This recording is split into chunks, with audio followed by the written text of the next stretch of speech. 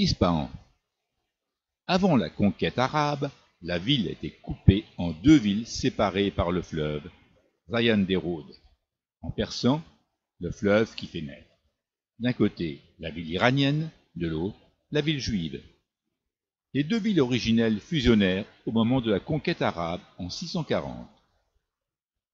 Les trois ponts les plus connus, sur onze au total, sont Jarestan, le Sio-Sépol, ou pont aux 33 arches, le Pol el Kajou, qui reliait la ville iranienne et la ville juive. Le pont Kajou, bâti vers 1650, il sert également de barrage et de carrefour.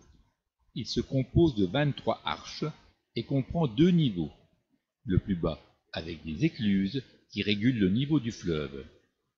Les loggias sont délimités sur la partie haute du pont. Au milieu, une loggia réservée aux chats.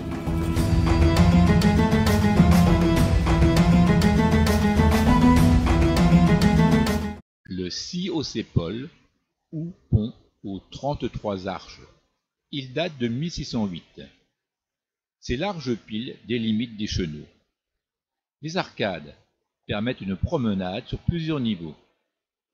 Les loggias sont délimités sur la partie haute du pont et servaient à l'occasion de fêtes sur le plan d'eau.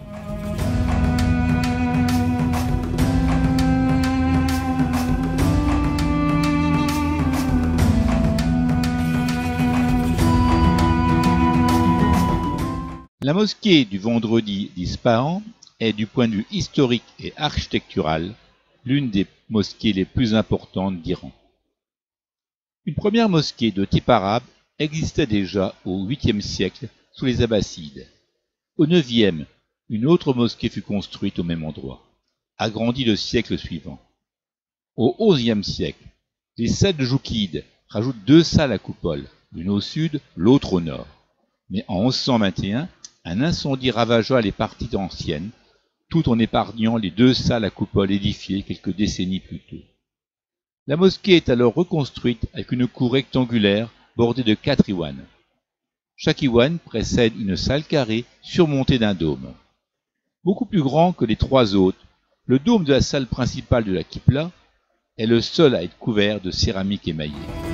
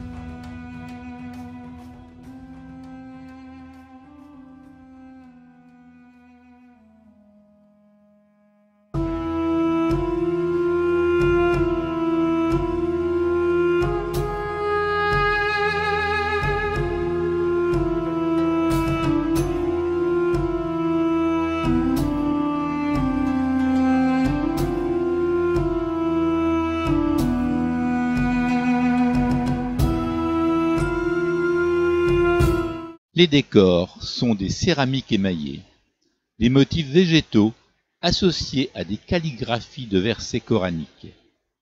Les couleurs employées sont le jaune évoquant le soleil et la lumière, le bleu et le turquoise évoquant le ciel.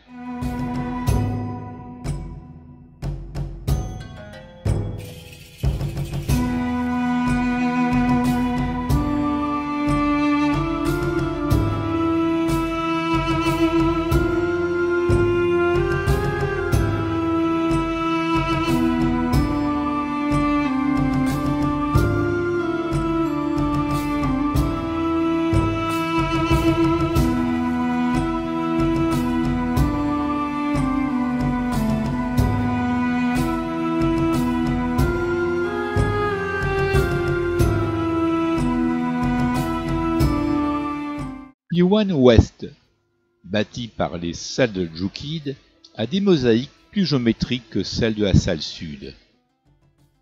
La chambre du sultan Ojaitu, souverain du XIVe converti au chiisme, possède un superbe mirabe en stuc entièrement recouvert d'inscriptions coraniques et de motifs floraux.